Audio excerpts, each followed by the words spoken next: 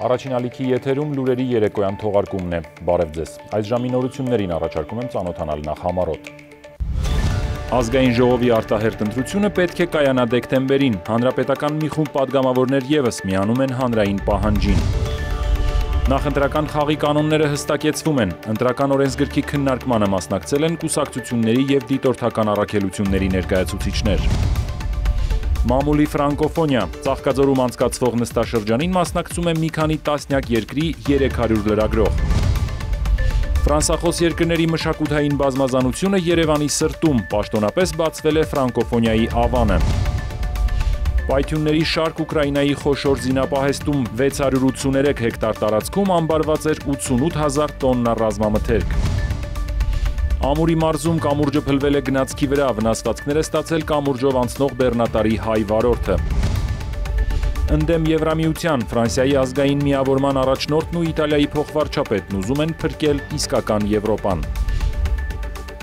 Ազգային ժողովի 16 падգամավորներ արտահերտ ընտրություններ անցկացնելու վերաբերյալ հայտարարություն են ստորագրել։ Ընդգծել են, որ պաշտպանում են 2018 թվականի դեկտեմբերին ազգային ժողովի արտահերտ ընտրություններ անցկացնելու վարչապետ Նիկոլ Փաշինյանի դիրքորոշումը։ Խորհրդարանականները, որոնց գերակշիռ մասը հանրապետականներ են, ստորագրությամբ հաստատել են, որ վարչապետի հրաժարականից հետո մինչև ազգային ժողովի արտահերտ ընտրությունները նոր վարչապետ չպետք է ընտրվի եւ գործող ազգային ժողովը պետք է լուծարվի։ Փաստաթուղթը ստորագրել են Աշոտ Արսենյանը, Ալիք Սարգսյանը, Արտակ Սարգսյանը, Արման Սահակյանը, Տաճատ Վարդապետյանը, Հակոբ Հակոբյանը, Շիրակ Թորոսյանը, Կնյաս Հասանովը, Արսեն Միխայլովը, Հարություն Կարապողոսյանը, Սամվել Ալեքսանյանը, Նահապետ Գևորքյանը, Արայիկ Գրիգորյանը, Իշխան Զաքարյանը, Ավետ Սարգսյանն ու Ռաֆիկ Գրիգորյանը։ Այսօր ամբողջ ժողովուրդ ասեցի կանգնած են այս ճանապարհի վրա մենք էլ հարգում ենք հայ ժողովրդին, հարգում ենք մեր ժողովրդին եւ գտնում ենք, որ մենք կանգնում ենք մեր ժողովրդի բռնած ճանապարհի վրա։ Մշտապես մենք պետք է հիշենք, որ падգամավորը ժողովրդի ընտրյալն է եւ առաջին հերթին պետք է կատարի ժողովրդի կամքը, ժողովրդի ցանկությունը Ինչ առաջարկներ կամ դժգոհություններ կան լսելու համար ընտրական օրենսգրքի բարեփոխման հանձնաժողովը հրավիրել էր կուսակցությունների դիտորդական հասարակական կազմակերպությունների ներկայացուցիչներին։ Օրենսգրքի ինտենսիվ քննարկումները սկսված են։ Գործադիրը կարևորում է ազատ, արդար, ժողովրդավարական եւ հանրության համար անվիճարկելի արտահերթ խորհրդարանական ընտրությունների անցկացումը։ Նոր նախագծով նախատեսվում է, որ խորհրդարանը ձևավորվելու է նվազագույնը 4 քաղաքական ուժից նախկին 3-ի փոխարեն։ Կանայք էլ օրենսդիրում նախկին 25-ի փոխարեն ներկայացված կլինեն 30%-ով։ Ազգային ժողովում նախկին երեքի փոխարեն 4 քաղաքական ուժ է ներկայացված լինելու։ Անցողիկ շեմը թե կուսակցությունների, թե դաշինքների համար մեկական տոկոսով իջեցվելու է 4 եւ 6 տոկոս, իսկ ռեյտինգային ընտրակարգն ամբողջությամբ մերժվելու է։ Ազգային ժողովի ընտրությունները կանցկացվեն միայն համամասնական ընտրակարգով, Նախորդ շաբաթ ընտրական բարեփոխումների հանձնաժողովը հրապարակել էր ընտրական օրենսդրության բարեփոխումների հայեցակարգը, մինչ գործադիրը կհաստատի այն, հանրային քննարկումներ են ծավալվում։ Ժառանգությունից Արմեն Մարտիրոսյանն ասաց, աջակցում են փոփոխություններին, լավ է, որ քաղաքական ներկապնակն ազգային ժողովում գունեղ կդառնա, բայց առաջարկ ունեն։ Ճիշտ կլիներ 3% լիներ անցողիկ շեմը, կամ եթե անցողիկը չի նվազեցվում, գոնե խորհրդարանում 5 քաղաքական ուժներ կա լինեն, որբիսի հնարավորինս ներկայացչականությունը խորհրդարանի ապահովենք։ Գումարած դրան նաև այդ ընտրագրավը փորձենք նվազեցնել։ Գրավը մեծ է կուսակցությունները դեռ քարոզարշավի ծախսեր պիտի անեն, ասաց ժառանգության ներկայացուցիչը։ Հանձնաժողովի քարտուղարը թե 10 միլիոն ընտրագրավը 7.5 միլիոնի է իջեցվել։ Դեմոկրատական կուսակցությունից Արամ Սարգսյանն էլ արձագանքեց գրավի թեմային։ Այն ժողովրդավարության սկզբունքներին դեմ է ասաց։ Կուսակցությունը չպետք է փող դնի, որպեսզի իրավունք ստանա մասնակցելու ընտրություններին։ Սա ուղղակի նոնսենս է։ Ընտրագրավը կարելի է ստորագրահավաքով փոխարինել, ասաց Դանիել Իոաննիսյանը, բայց այս պարագայում ժամանակի խնդիր կա։ Քանի դեռ մենք խոսում ենք արտահերտ ընտրությունների մասին, ապա պետք է ասեմ, որ արտահերտ ընտրությունների ժամկետները սահմանադրական են այն սահմանադրի կողմից սահմանվել են 30-45 օր եւ այստեղ մենք անզոր ենք։ Բոլոր կարգավորումները պետք է այդ ժամկետում տեղավորվեն, ասաց հանձնաժողովի քարտուղարը, եւ եթե հիմա ստորագրահավաքի ինստիտուտ մտցնենք, թե որ քաղաքական ուժը մասնակցի կամ չմասնակցի ընտրություններին, դա արվելու է նախընտրական քարոշչության հաշվին միգուցե վերանայել սա, բայց արդեն հերթական ընտրությունների համար, երբ ժամկետները թույլ են տալիս ավելի շռայլ լինել։ Եթե ընտրություններն արտահերթ են, գրավի գումարը պետք է շտապ հավաքել, խնդիր է, ասաց Արշակ Սադոյանը։ Որ կուսակցության մեջ կան օլիգարխներ, հարուստներ, բաներ, նրանք միանգամից կմոծեն, նրանց համար խնդրեմ չկա։ Իսկ նրանք, ովքեր որ պետք է հավաքեն այդ միջոցները, ուղղակի ժամանակ չեն ունենա հավաքելու եւ կստացի այսպես գրավը արհեստականորեն դրթում է դեպի օլիգարխական, այսպես ասած, ընտրություններ։ Անցողիկ շեմն էլ առաջարկեց իջեցնել 3 եւ 4 տոկոսի։ Ենթադրենք անցողիկ շեմը, չգիտեմ, 3-4 տոկոս է, ինչպես դուք եք ասում, կամ 4-6 ինչպես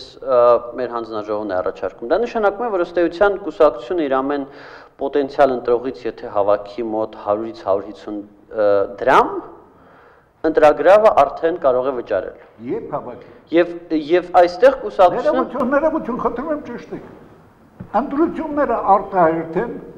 քիչ ժամանակ է մնացել եւ ինչ քարոշչական գործնեության ընթացքում հավաքեն գրավ։ Օրենքը որևիցե կերպ չի խանգարում, որpիսի կուսակցությունները, չգիտեմ, հենց այսօր սկսեն իրենց համակիրների շրջանում դրամահավաք անել։ Հանրային միջոցների հաշվին քարոշչական հնարավորություններն էապես ավելանում են, ասաց հանձնաժողովի քարտուղարը։ Հերուստաբանավեճերն ու անվճար եթերաժամանակն այնքան է ավելացել, որ կուսակցություններն այսպես թե այնպես վնաս չեն կրի, բայց ամեն դեպքում սա կգրանցեն որպես առաջարկ, ասաց Դանիել Իոաննիսյանն ու խոստացավ եւս մեկ անգամ քննարկել ընտրագրավի հարցը։ Ռուզաննա Վարդերեսյան, Ռոմիկ Խաչատրյան, լուրեր։ Հայաստանում իրականացվող փոփոխությունները միտված են օրինակելի ժողովրդավարության հաստատմանը ելույթ ունենալով ԵԽԽՎ աշնանային նստաշրջանում հայտարարել է հայկական պատվիրակությունը ներկայացնող Էդմոնդ Մարուկյանը։ Պատգամավորն ասել է, որ Հայաստանում անհետաձգելի է արտահերթ խորհրդարանական ընտրությունների անցկացումը եւ այն պետք է կազմակերպվի ընտրական նոր օրենսդրության տարին համապատասխան, բոլոր գործընթացների հիմքում ունենալով մարդու իրավունքները, իրավունքի գերակայությունը եւ ժողովրդավարության հիմնարար սկզբունքները։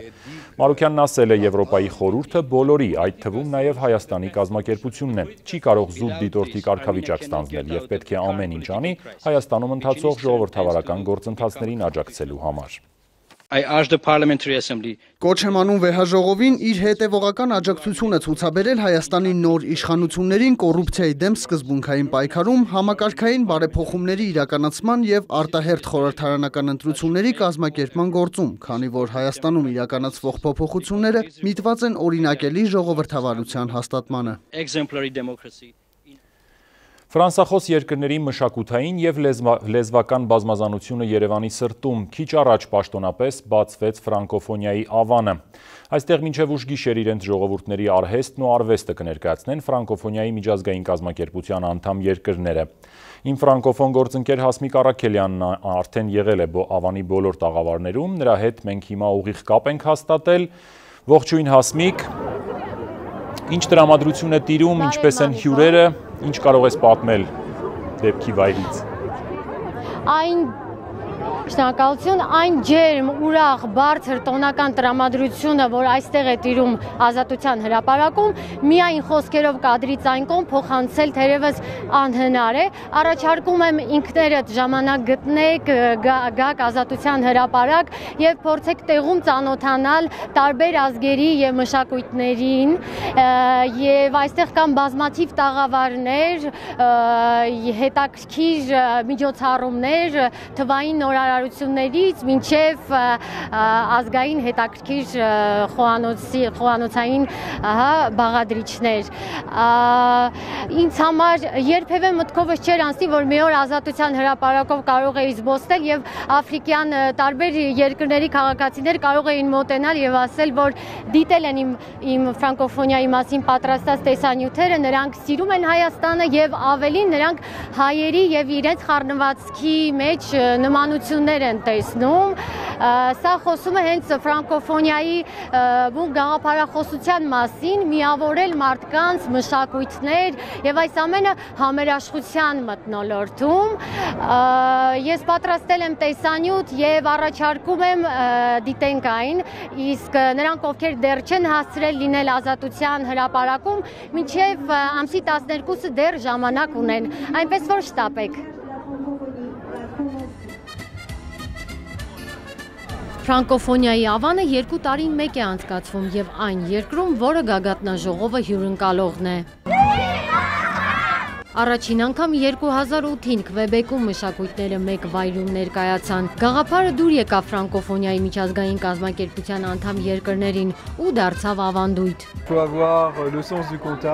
Հարկավոր է շփման լավ զգացում եւ որակյալ ապրանք ունենալ։ Ֆրանսիայի տաղավարում Business France-ը ներկայացնում է իրենց հետ գործակցության հնարավորությունները։ Բացի այդ, այստեղ են ֆրանսիական կրթական ծրագրեր առաջարկող կազմակերպությունները։ Այցելուներին սովորեցնում են նաև վարսահարդարման ու գաստրոնոմիայի հմտությունները։ Vivre ensemble après Yassine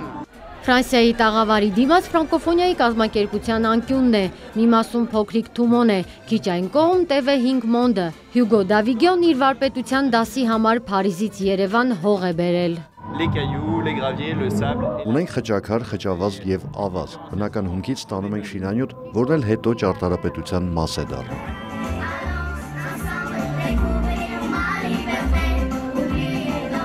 Alors on présente les politiques. Ներկայացնում ենք Շվեյցարիայի արտաքին քաղաքականությունը տղամարդ կին իրավահավասարության վերաբերյալ։ Այս ամենը 3 փուլով՝ տնտեսական նախաձեռնություններ, իրավունքների ու խաղաղության պահպանմանն ուղղված կանանց ներգրավվածություն։ Չեք ներկայացրել ձեր հայտնի ծալովի դանակները։ Շոկոլադն էլ հետը։ Գիտեք, որոշեցինք կարծրատիպերից դուրս գալ եւ մեզ այլ կերպ ցուցադրել։ Կանադայի հայտնի կուրորտային հատվածն է Լորանտիդը։ Այստեղ կարելի է լուսանկարվել ու զգալ ինչպես ամենախոշոր ֆրանսախոս Կվեբեկում։ Այդ ամեն ինչ շատ ջերմ է այստեղ։ Ներկայացված է Հայաստանը իր 10 մարզերով, Արցախի եւ Արցախի Հանրապետությունը։ Այստեղ ներկայացված է Հայաստանի մշակույթը, պատմությունը, Հայկական տաղավար կարելի է մտնել ու համ տեսել չրերից մինչև լավաշ, տեսնել խաչքարերն ու կերպարվեստը։ Արարատի մարզի հատվածն է, որտեղ փորձել ենք ստանալ այս ամենագեղեցիկ նատյուրմորտներից մեկը մեր հայկական բնաշխարի Հայաստանի մրգերն են, որոնք արհեստական են, թե կարելի է նաև համ տեսել ոչ միայն բնական են, այլև հենց մարզից են բերված, այսինքն համը երաշխավորված է, համ տեսեք, խնդրեմ։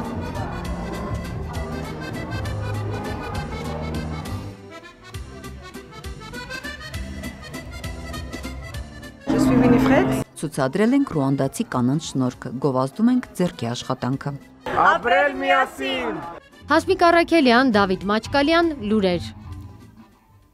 Հայաստանը շարունակում է միավորել ֆրանսախոս երկրներին ֆրանկոֆոնիայի միջազգային կազմակերպության 35-րդ նախարարական համաժողովն այսօր ամփոփվել է։ Որոշումները փոխանցվել են պետությունների ղեկավարներին։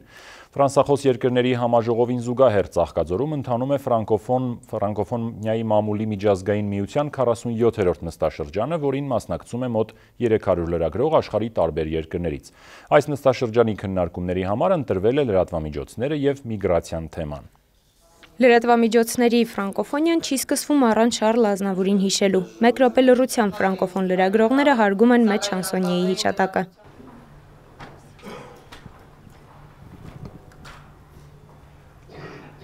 Merci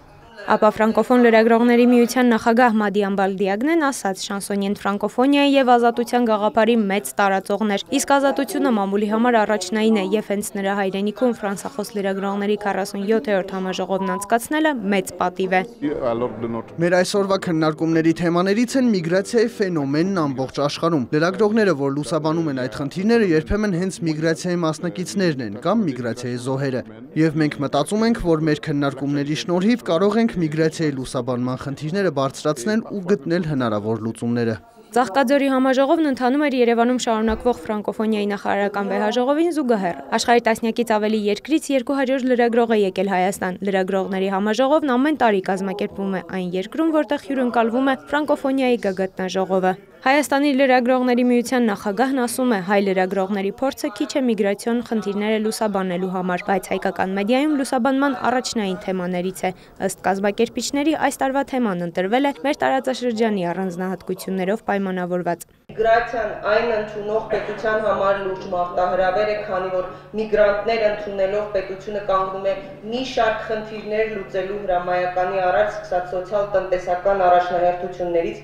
մինչև միջավայրին, լեզվին, կրոնին, համագործության տարբեր տարբերվող կանոններին, կենցաղային, մշակութային, մենթալ տարբերություններին առնչվող խնդիրներին։ Համաժողովին վարչապետ Փաշինյանի խոսքն է փոխանցում նաև Արման Եղոյանը։ Իր ուղերձում վարչապետն ասում է, լինելով մասնագիտությամբ լրագրող, իր համար առաջնային է մամուլի ազատությունը, եւ միգրացիոն խնդիրների լուսաբանումն ու ճիշտ լուսաբանումը կարեւոր է մեր երկրի համար։ Ամբողջ օրը Ծաղկաձորում լրագրողներն ընդհանուր եւ առանձին խմբերով քննարկումներ կունենան, իսկ համաժողովի ավարտից հետո առանձին գրքում կամփոփեն տարբեր երկրների լրագրողների կարծիքները միգրացիայի լուսաբանման խնդիրների մասին, եւ այն կդառնա փոքրիկ ուղեցույց բոլոր ֆրանսախոս լրագրողների համար։ Լիլիթ Հարությունյան, Տիգրան Բաբայան, լուրեր։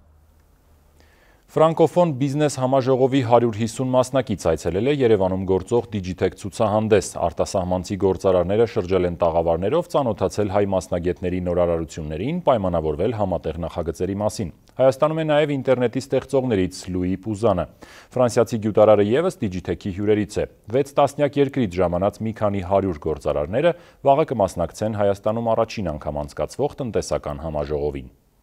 Ֆրանսիացի հայտնի գյուտարարը առաջինը մոտեցավ հայ երեխաների ինովացիոն տաղավարին։ Ամեն ինչ պատրաստել են օրվա խորհրդով։ Արմաթի սաների ստեղծած ռոբոտից մինչև համակարգչային խաղեր տպավորեց 87-ամյա Լուի Պուզանին։ Ասում էր, որ այսպիսի բան դեռ Ֆրանսիայում չկա, իրանց մոտ մի քիչ ուրիշ մոդելով այս ամեն ինչը գործում։ Ֆրանկոֆոն տնտեսական համաժողովն աշխատանքը կսկսի վաղը Թումոյում։ Երևան են ժամանել 60 երկրի մի քանի 100 գործարարներ։ Ինտերնետի հիմնադիրներից Լուի Պուզանը ֆրանկոֆոն գործարար համաժողովի հիմնական բանախոսներից է։ Հայկական ընկերություններն ունեն նորարարությունների հանդեպ նուրբ զգացողություն, ապագայի հանդեպ ճիշտ պատկերացումներ եւ քայլում են այդ ամենին համահունչ։ Գործարարները եկել են Եվրոպայից, Լիբանանից, Աֆրիկյան երկրներից։ Տնտեսական համաժողովը նրանց հետ բիզնես կապեր հաստատելու, հայ արտադրողների համար նոր շուկաներ գտնելու հնարավորություն է։ Քանի որ Digitech Expo-ն այս տարի կազմակերպվելու էր ամսի 5-ից 7-ը, որոշեցինք կազմակերպիչների հետ մի փոքր երկարաձգել եւ հնարավորություն ընձեռել, որ մեր բոլոր ընկերությունները բարձր տեխնոլոգիաներում ներկայացված այստեղ այսօր Expo-ին կարողանան մեր հյուրերին ներկայացնել իրենց արտադրանքը Աշխարհն առաջ տանողն այսօր բարձր տեխնոլոգիաներն են, ասում է Բուրկինա Ֆասոից Երևան եկած Պատրիսիա Ագարբան։ Ունեն մանկական սննդի արտադրություն, զբաղվում են նաև վաճառքով։ Այստեղ տեսա նոր տեխնոլոգիաներ, որոնք կօգնեն մարդկանց անվտանգության զարգացման գործում։ Կարծում եմ հայկական IT-ն բարձր մակարդակի վրա է, ինչն իր հերթին նպաստում է բոլոր ոլորտների, նաև ֆինանսական, բանկային համակարգի զարգացմանը։ Հյուրերի թվում նաև կանադահայ Պիեր Աքելյանն է։ Մոնրեալում հիմնել է կանադյան ջեմ ընկերությունը։ Հյուսիսային Ամերիկայի ամենահայտնի ոսկերիչներից է։ Գործարարը ողջևորված է հայրենիքում տնտեսական գործունեություն սկսելու նոր հնարավորություններ կան մեզի ամբողջ ներշնչած է ամբողջ աշխարհի հայության եւ մեզի համար շատ Փաշինյանի աս նոր նվաճումները մեզի համար իսկապես հույս կուտա ցեզ մե ավելի որ կարելի է ներդրում անել որ ինչեւ հիմա վախով էինք կամ չէինք կներ որոշ որոշ պատճառներով հիմա արիտ է որ կանք եւ աշխարհին ավելի լավ սերմ սևով Հայաստանի օգուտի համար Երևան կգա Կանադայի վարչապետ Ջաստին Տրյուդոն։ Պիեր Աքելյանը հուսով է, որ բարձր մակարդակով կքննարկվեն հայ-կանադական տնտեսական հերանեկարները, իսկ իրենք պատրաստ են ներդրումների։ Մայա Խաչատրյան, Դավիթ Մաչկալյան, լուրեր։ Միաձայն քվեարկությամբ 96 կողմ առանց դեմ ձայնի. Ռումինիայի սենատը եւս վավերացրեց Հայաստան Եվրամիություն համապարփակ եւ ընդլայնված գործընկերության համաձայնագիրը։ Այդ մասին Facebook-յան իր էջում գրառում է կատարել Ռումինիայում Հայաստանի դեսպան Սերգեյ Մինասյանը։ Ավելի վաղ համաձայնագիրը վավերացրել էին Էստոնիան, Լատվիան, Լիտվան, Բուլղարիան, Լեհաստանը։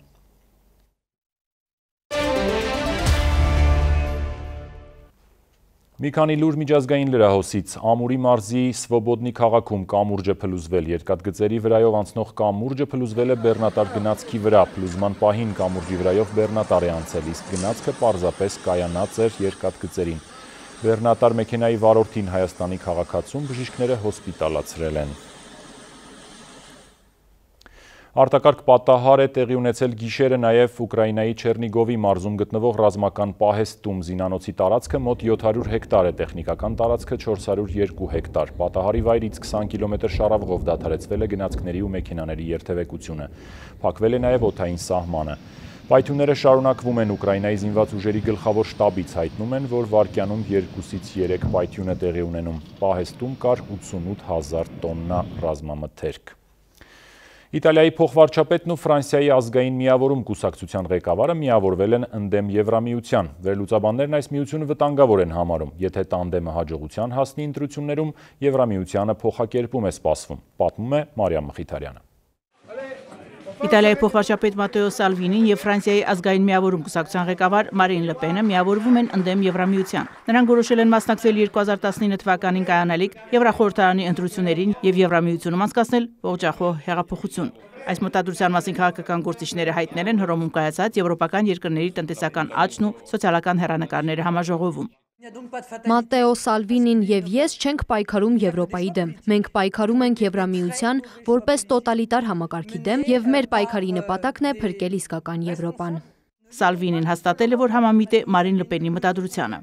Մենք դեմ ենք Եվրոպայի ճշնամիներին, Եվրահանձնաժողովի նախագահ Ժան-Կլոդ Յունկերին եւ Եվրոպական հանձնաժողովի տնտեսական հարցերով հանձնակատար Պիեր Մոսովիչին, որոնք փակվել են Բրյուսելի բունկերում։ Եվրոպական կառույցների ղեկավարները կոչ են անում Իտալիայի կառավարությանը հետևել Եվրամիության բյուջեի կանոններին եւ խուսափել Բրյուսելի հետ համաձայնեցված նպատակներից շեղվելուց։ Սալվինին զգուշացրել է, որ նրանք ովքեր ցանկանում են շահարկել Իտալիայի տնտեսության վիճակը, իզուր ժամանակ են վատնում։ Եվրամիության հետ Իտալիան հակասություն ունի նաև ներգաղթյալների ընդունման հարցում։ Ռոմին զայրացրել է Գերմանիայի իշխանությունների մտադրությունը Իտալիա ուղարկել այն միգրանտներին, որոնք Եվրամիություն են ժամանել իտալական տարածքով։ Փոխվարշապետ Սալվինին խոստանում է փակել օտանավակայանները, որպեսզի չընդունի փախստականներին Գերմանիայից։ Վերլուծաբանները վտանգ են տեսնում Սալվինի Լեպեն միասնությունից։ Եթե նրանք հաջողության հասնեն ընտրություններում, Եվրամիությանը փոխակերպում է սպասվում։ Բրուսելը ստիպված կլինի վերադարձնել իշխանությունը ինքնիշխան պետություններին։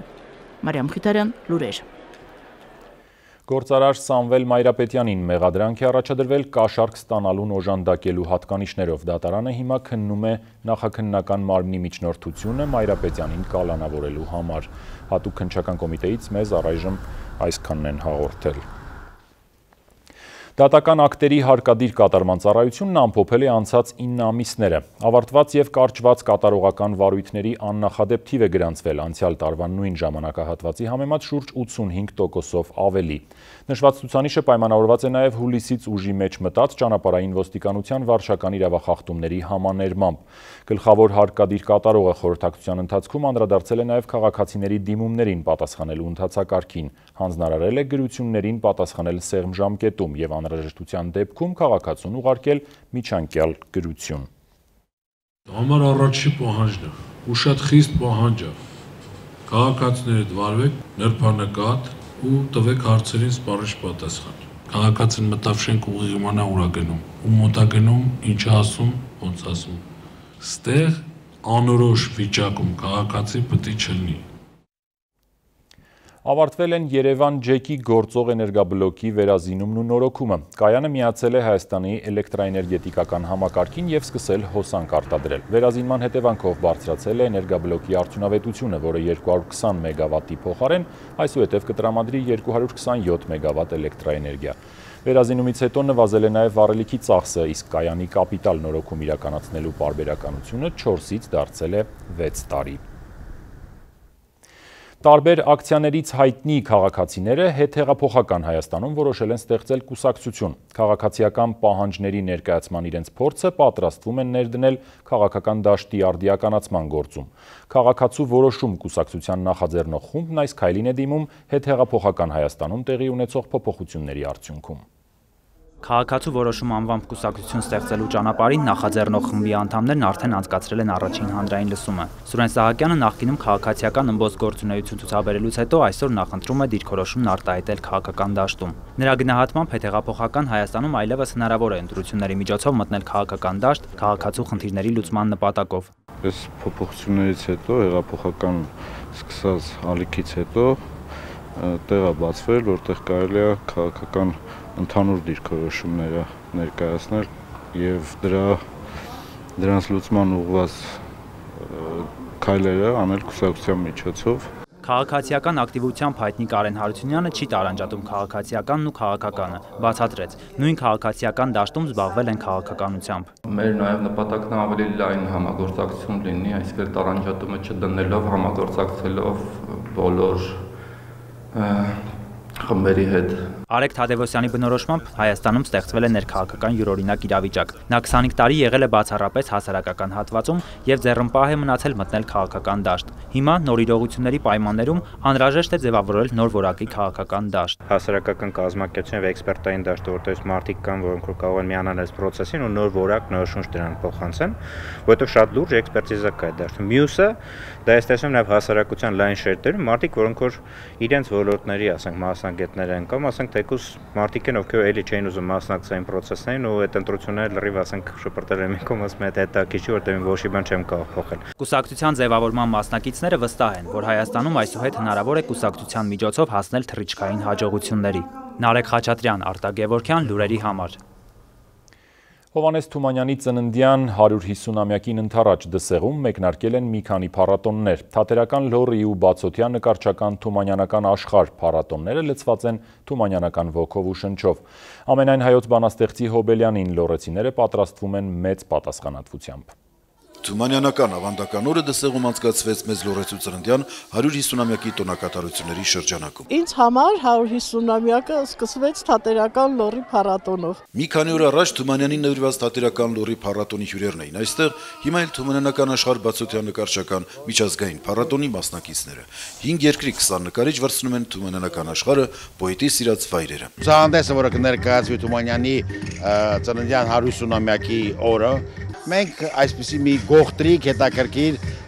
ցուցադրություն կունենանք։ Ղազախ նկարչին հրապուրել է դսեղի բնությունը, բայց հատկապես լեռները։ Այստեղ լեռներն այլ են, մի տեսակ հպարտ։ Մեր արչև բազմապլան հերաստաններ են, մուքից մինչև բաց կապույտ։ Մենք 3 ղազախ նկարիչներ ենք, 3-ս էլ հմայված թումանյանական բնությամբ։ Նուգզարը Թբիլիսից է, մի քանի անգամ եղել է Հայաստանում, բայց ուրախ է, որ այս անգամ աշխատում է Լոռիում։ Ասում է ինքն էլ հայ մեծ պոետի հայրենակիցն է так как Օանես Թումանյան он долгое время жил в Тбилиси։ Չէ որ մեզ լոռեցին ավելի շատ Թբիլիսիում է ապրել։ Ես հպարտացա նաև երբ Միկոյանի թանգարանում ասացին, որ Միգերի հրճակավոր կոնստրուկտորը մի քանի տարի բնակվել է Թբիլիսիում։ Դսեղցի քանդակագործ արտիկն էլ գործնական առաջարկով է եկել։ Թումանյանի Անդրանիկի կերպարներով զրույց կոմպոզիցիոն աշխատանքը մոնումենտալ բնույթի։ Արցաները կտեղադրվեն 2018 թվականին Դսեղում Անդրանիկի ու Թումանյանի հանդիպան վայրում։ 150-ամյակին ընթരാճ մուլտիգրուպի աջակցությամբ էլ նորոգվում է մեծ պոետի տուն թանգարանի շենքը։ Աստիճանների փայտերը փտել էին արդեն, թափվում էին, երեխաները չէին կարողանում վերև բարձրանալ այցելու երեխաները, մեծերը նույնպես։ Հիմա ուղղակի նույն ձևով փայտյա մասը վերափոխում են։ 150-ամյակին ընթരാճ ձևորվել է Բակը, Գյուղի հրապարակը, կառուցել այցելուների ընդունման սրահներ։ Հրաչապապինան Արման Տիտանյան, լուրեր։ Օրվա մարզական նորություններին կծանոթացնի իմ գործընկեր Շուշանիկ Հակոբյանը։ Խնդրեմ Շուշան։ Շնորհակալ եմ։ Յուրա Մովսիսյանը վերադառնում է ազգային հավաքական։ Ավելի վաղ հայտնել էինք, որ Հայաստանի ֆուտբոլի ազգային հավաքականի հարցակվողը հայտնվել է Արմեն Գյուլբուդաղյանցի հրապարակած հայտացուցակում։ Այդ կապակցությամբ Յուրա Մովսիսյանը գրառում է կատարել Facebook-ում, որտեղ ֆուտբոլիստը չի թաքցրել իր ոգևորությունը։ Նա հատուկ ընդգծել է իր հետ պատահածից հետո նա 3 տարի անց կրկին միանում է հավաքականին եւ հոկտեմբերի 13-ին ու 16-ին սպասում է Լեփ Լեցուն տրիբունաներ։ Իդեպ Յուրա Մովսիսյանն արդեն ժամանել է Հայաստան։ Մուհամեդ Սալահ, Էդեն Ազար, Կրիշտիանո Ռոնալդո, Կիլիան Մբապե ու Պոլ Պոգբա։ Հեղինակավոր Ֆրանս ֆուտբոլ պարբերականը հրապարակել է այն ֆուտբոլիստների անունները, ովքեր հավակնում են ոսկե գնդակ մրցանակին։ Ֆրանս ֆուտբոլը առաջին անգամ մրցանակ է սահմանել նաև մինչև 21 տարեկան լավագույն ֆուտբոլիստի համար։ Այստեղ են իտալացիներ Կուտրոնեն ու Դոնարուման, ինչպես նաև Տրենտ Ալեքսանդր Արնոլդը Լիվերպուլից։ Հիշեցնենք, ոսկե գնդակը 2010-15 թվականները լավագույն ֆուտբոլիստին հանձնվում էր FIFA-ի հետ համատեղ։ Ոսկե գնդակ մրցանակաբաշխությունը կկայանա դեկտեմբերի 3-ին։ Մեկնարկեց Հայաստանի բասկետբոլի ալիգան այդ մարզաձևի սիրահարները ընթացիկ մրցաշրջանում ակնատեսը կլինեն էլ ավելի թեժ պայքարի, քանի որ մասնակից գրեթե բոլոր ակումբներն իրենց կազմերն ուժեղացրել են տարբեր երկրներից, այդ թվում նաև Ամերիկայի լեգիոներներով։ Թե ինչ ընթացք է ստացել առաջին տուրի հանդիպումները ռեպորտաժում։